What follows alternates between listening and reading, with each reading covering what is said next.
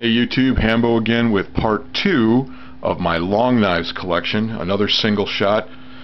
This is the first long knife I bought. And you always remember your first date at the dance. This is a United Cutlery Pathfinder. I modified the sheet. It came with a very good ballistic hard shell. Okay, but I saw a video on YouTube made by another gentleman whose names escape me, but I will link him down below when I post this. Uh, this is when I first started using rubber inner tube pieces, and I found out through his video if you overlap them, they make great little storage pouches in the sheath. So I actually have two pieces here and my, my old buddy the Ranger bands. I added some things to this. Let's look at the uh, sheath first.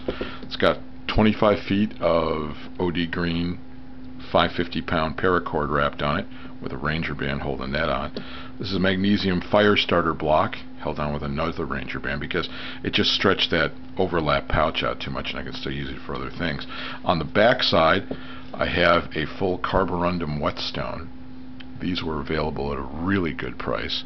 And over here you can just see this. This is the uh, striker for the uh, fire steel on the other side and that's tucked down but I can pull it out. I'm not going to waste time on the video pulling it out but there's the striker. And it all fits on the sheath. The only thing I don't like about this sheath is the wimpy little ballistic nylon belt loop. I mean it does okay and you've got the lanyard holes here so you can tie something into it but it just doesn't quite fit. Anyway here it is the United Cutlery. Now one thing you'll notice about this knife it is a carbon steel blade. Uh, so it does. Uh, I'm sorry, it's not carbon steel. I should have known that. It's it's stainless, but it has the satin coating on it. You'll notice I've used this quite a bit. It is pretty well marked up.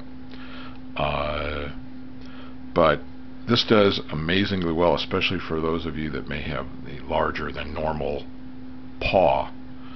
Uh, lacks jimping on the edge, which can sometimes be a hindrance, but uh, there's a lot of videos posted on this, so I'm not going to go into the details on this knife, but it is a good, solid, heavy, full tang blade.